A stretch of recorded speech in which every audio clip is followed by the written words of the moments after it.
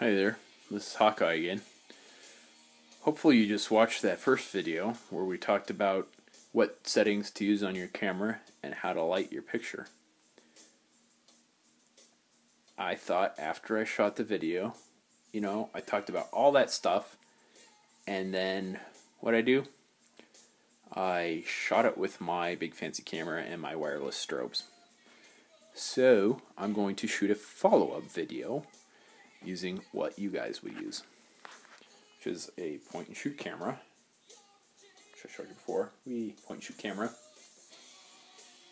and my $40 light box from Amazon. Those lights that are on, like I said, come with. Sorry, trying to stabilize here. I'm not doing too good, am I? Like I said, the blooper reel for this, man. Fuck. Anyway. The lights come with it. I'm stabilizing my camera with a tripod. Before you say, oh, that's some fancy tripod you got there, I don't have one of those.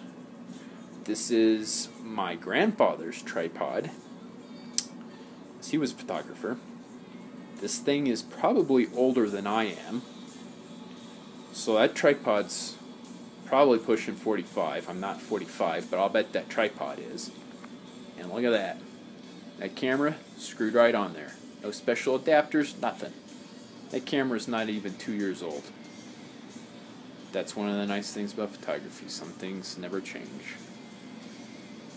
$5 tripod from Craigslist or eBay or the used camera store. And I'll bet you it's going to fit on your point and shoot camera. And just to prove that I don't spend a lot of money on photography gear if I don't have to, uh, originally I was using shooting this guy on a reflective surface. What is my reflective surface? It is a broken poster frame. You can't see it underneath the bag of chips. There's a big old hole carved out of there. Bought a poster frame at Walmart for 10 bucks for my Iron Man poster, and it was a piece of junk. It fell apart. So I set it on this black blanket, which was five bucks at the Goodwill. I mean, seriously, I had to fight a homeless guy to get it. So, I mean, that's pretty cheap if you're, you know, taking blankets from homeless guys to use for your photography. So we're up to what, uh, you know, 10 bucks for the tripod, 30, you know, for less than 50 bucks, 50, 60 bucks you got yourself a decent lighting setup here. And remember the um, the light box does come with a little tripod, so you wouldn't have to actually buy one of these off. Wouldn't have to actually buy another tripod. So, all right, I'm going to reposition the lights a little bit here.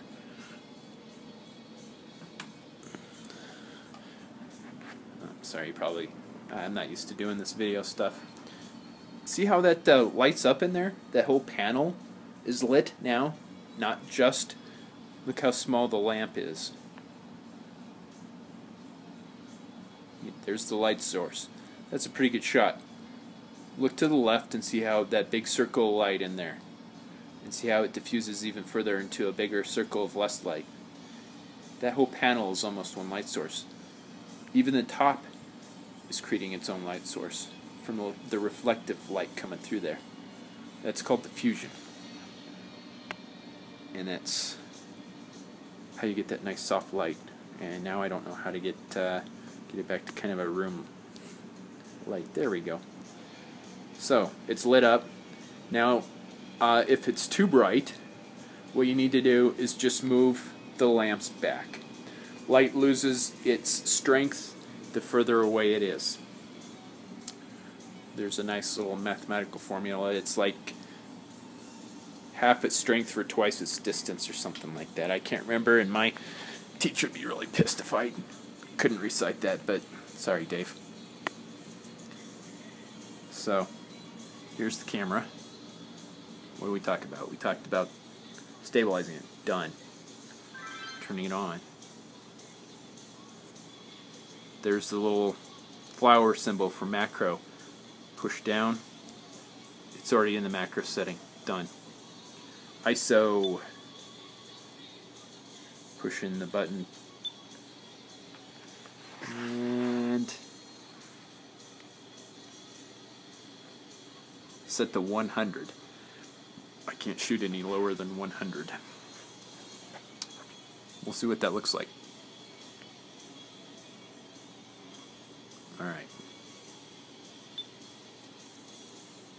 We're going to have to zoom in a little bit. I don't like the zoom, digital zoom, because what it actually does is it crops your picture. It doesn't make your picture bigger. So you're actually just losing data. You're not actually making your picture bigger. You're just whereas a lens is a little different. A lot of focus there. Boom, there we go. Alright. So we're all set. Take a picture. Boom. Eh, it's hard to see on this, but it's a little bright. It's well lit though. Kind of a big custom. Let's switch to something smaller. Let's get that big boy out of there. And set him on the floor. Don't you run off. Uh, protect me from the homeless guy. Make sure he doesn't come back after his blanket. And let's put this one in there. This is one of the Iron Man Dinobots that I'm working on. Sorry, I'm looking at my camera and trying to look at the iPod at this iPad at the same time, and it's not really working. So that's what it looks like. There's the back of the camera. It's not too bad. Zoom in a little bit.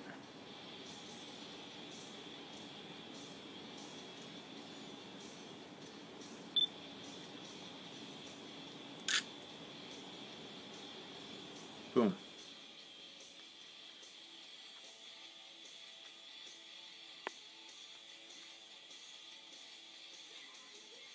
Not bad for 40 bucks and a $5 tripod. Um, seriously, that's all I'm using. I'm using a $40 light box from Amazon, $5 Grandpa's tripod.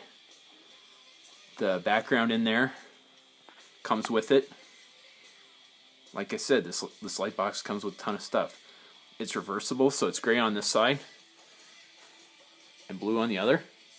So I'll post this picture somewhere so you can see that you actually can get a decent picture with a point shoot camera and nothing more than 40 bucks worth of gear.